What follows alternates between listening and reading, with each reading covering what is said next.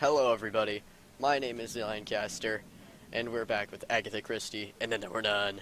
So last time, uh, this lady fainted after she heard everybody is a murderer in this house. I don't blame her. But now we need to go get the doctor bag. The doctor bag. Doctor bag. Doctor bag. Does whatever a doctor bag does. Does it contain stitches? It probably does. Why am I continuing this song? Nobody knows.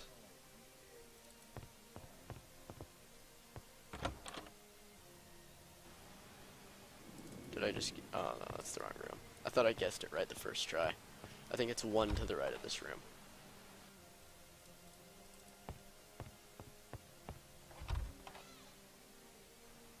Yep. so close, and yet so far. Well, I guess I just put that in my pocket or something. How much you want to bet they're just gone when I get down there? A few moments later. Yep. oh wait, no, I have to go in through the secret door or something. They took her to the bedroom.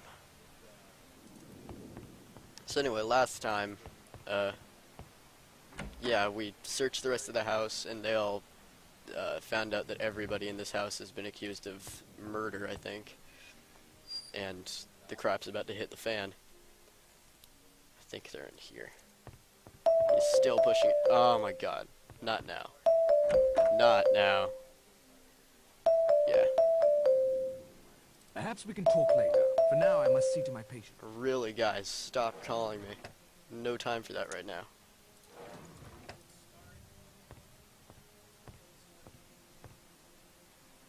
Thank you, Mr. Narracott. Huh. I am in your debt. Take it.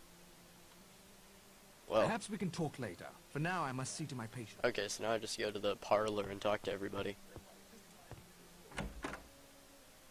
Hey guys, I remembered to start my timer this time. Hello everybody, it's your Uncle Lancaster here, and look at this, look at this, look at this. My computer's running again. Unfortunately, it has so many viruses on it right now that I'm actually unable to download any more content for this video. That really sucks. I'm not doing this to just get out of editing the rest of it. I find editing this stuff really fun. So, lay off. I swear next time I edit a video it'll be complete. But I need to just clean up my computer and I just want to get this video up really quickly since I've been neglecting that for a real long time. So, yippee, computer's fixed and enjoy the rest of the video. Yay! I like that couch, or little sofa thing. It's nice. How quaint.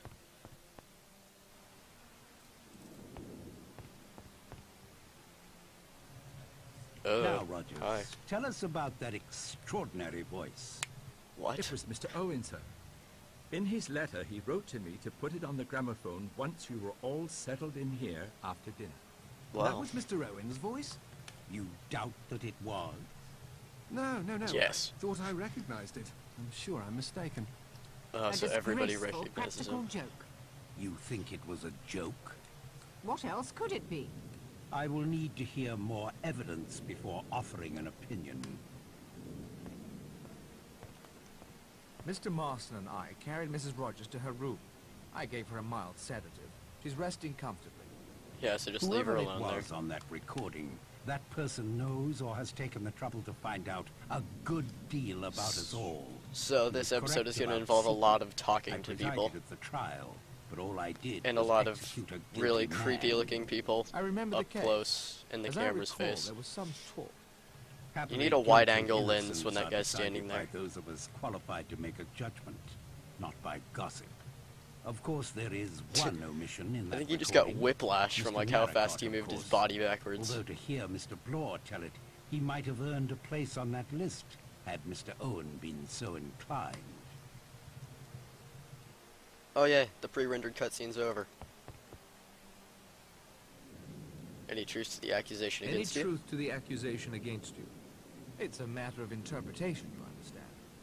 But I'd have to say, yes. So I just interpreted you're a murderer. Will you tell me how it happened? Elderly woman. Poor devil.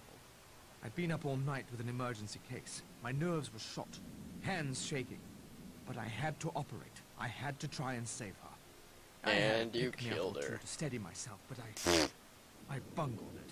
It wasn't the drink, I swear. It was Oh, an sure. accident. Could have happened to anyone in my profession. Yeah, especially ones that drink. What brought you here to Shipwreck Island? Owen sent me a note, asking me to have a look at his wife, who's been suffering from arthritis and muscle spasms.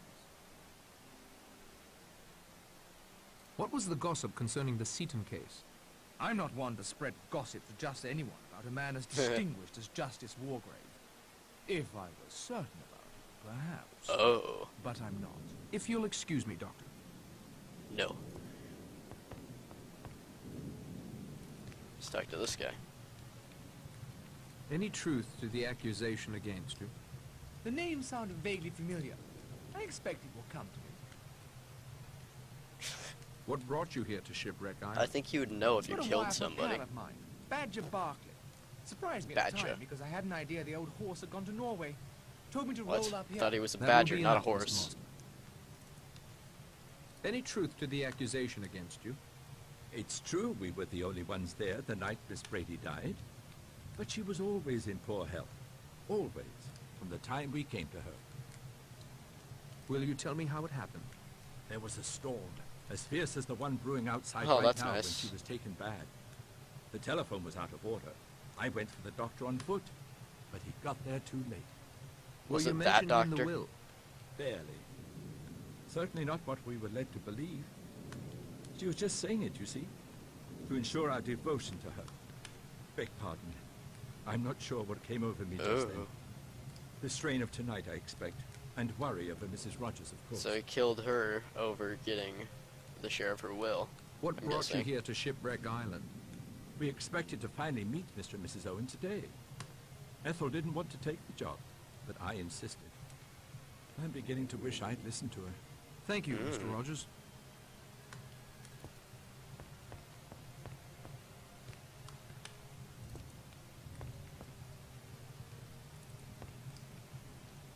Any truth to the accusation against you? I'm like the I remember Seaton perfectly well. Playwright, charged with the murder of a chorus girl. ooh. He was found guilty, hung himself in his cell three days later, saved the crown the expense of doing it for him. Thank you kindly, Judge. Any truth to the accusation against you? About that child, Cyril Hamilton. I was nursery governess to him. Are you Will Julia you tell Roberts? me how it happened? I'd like to tell you. Cyril was forbidden to swim out far. One day, my attention was distracted. I couldn't get there in time. What are you doing? Drinking? It was awful. But it Seems wasn't my fault. Seems to be what fault. everybody else was doing at the time. At the inquest, the coroner exonerated me. Oh, and his mother. She was so kind. If she didn't blame me, why should this awful thing be said? Are you Because- sure you're telling me everything? I'm telling you all I'm going to. It's a Mr. plot Lockhart. device. What brought you here to Shipwreck Island? I was engaged through the Skilled Women's Agency to be Mrs. Owen's personal secretary That was a for the thing remainder back of the then? Summer. Then I hope to return to teaching. A good evening to you, Miss Claythorne. Stay safe. If you know what I mean. Any truth to the accusation against you? Fellow got hold of a detestable rumor, nothing more. Arthur Richmond was one of my officers. I sent him on a reconnaissance. He was killed. Natural course of events. I sent him on a reconnaissance. You, he General. was killed. Stay well. Any truth Lombard. to the accusation against you? I admit it's a ghastly story, but I can't say it's wrong. Ghastly. Owen did his research well. The accusation is absolutely true. I'm trying to like figure out the layout of this room because I always thought that the radio was in the corner, but is it? Because I know that the fireplace is at the far side of the room. Uh, I don't know.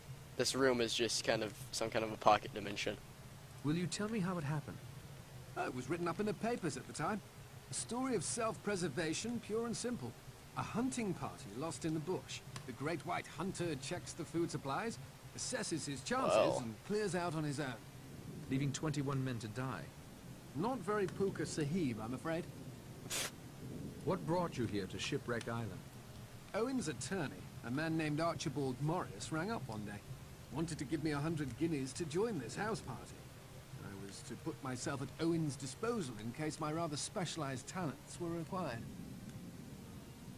What specialized Ooh. talents would those be? You might say I'm a good man in a scrap. Good evening, Mr. Lombard. You're wearing a sports jacket. I don't know if I believe you. These are the last two guys, I think. I hope. One, two, three, four, five, six, seven, eight, nine. Uh, one of them is in bed, yeah. Any truth to the accusation against you? Look, Narracott, if that's what you want to call yourself. The rules have changed. Can't you see that?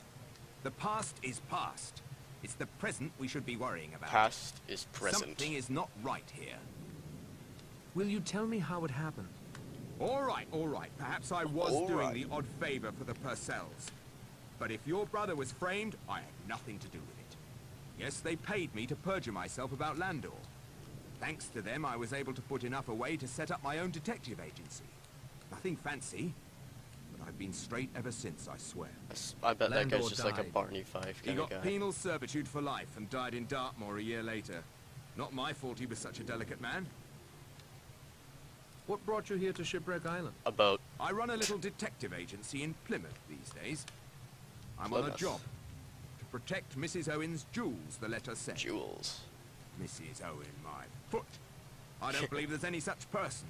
That'll do, Mr. Blore. And you. Any truth to the accusation against you? Beatrice Taylor was in service with me. See, that's literally Not nice Aunt Bee from the Andy Griffith Show. Loose. No morals whatsoever. Insert picture of her here. I'm just saying that. I'm sorry if it gets annoying. I need to remind myself to put that in there. Will you tell me how it happened? It was some time before I found out she was what they call in trouble. Her parents were decent folk, too. I'm glad to say they did not condone her behavior when I told them of it. What happened to Beatrice?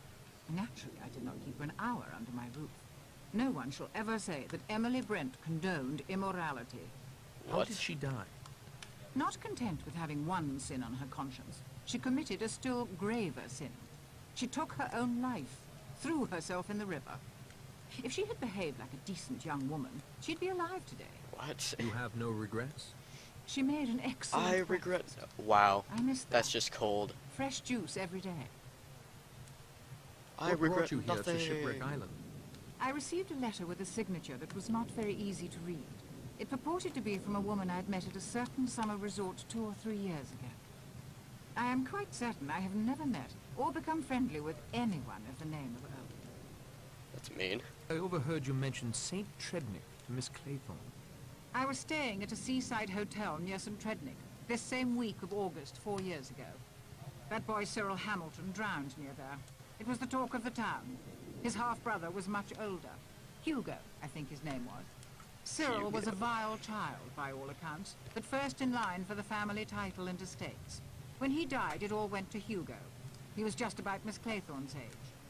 There was talk of something between them. You're suggesting Vera let the boy drown so the man she loved could inherit? That would be idle gossip. I don't indulge in idle gossip. Neither I've only told you the facts of the case as I remember them. Good evening to you, Miss Brent. Alright. Oh. Can I pick up one of these? Please tell me I can pick up one of these. Oh. Well, I can pick up the matches. Oh! They don't get along. Are you kidding me? Some things, once done, cannot be undone. You just need to literally pull a match out. What? I don't... It, it, They don't get along. is there like something stuck in the pipe? I can't see anything of interest. Oh my god. Why do I still have Blore's notebook? Anyway, read this. I copied the contents into my notebook. That's foreshadowing here.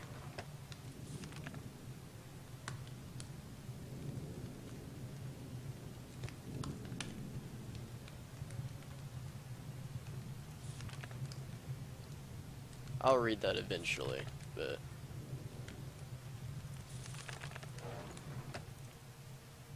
who haven't I talked to?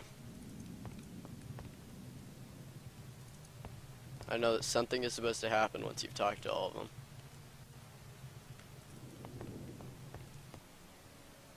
Uh,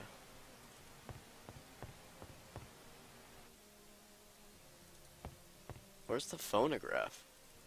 Is there just like a phantom phonograph here?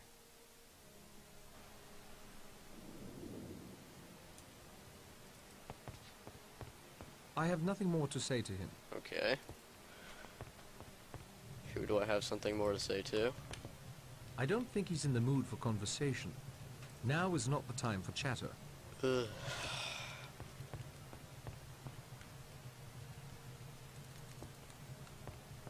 Okay, so that is in a corner, so what's up with this room? The time for talk has passed. I have nothing more to say to him. I have more important things to do than chat. The time for talk has passed. Are you kidding me? I've talked to everybody.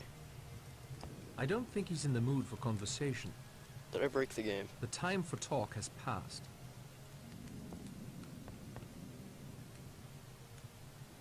Well, okay.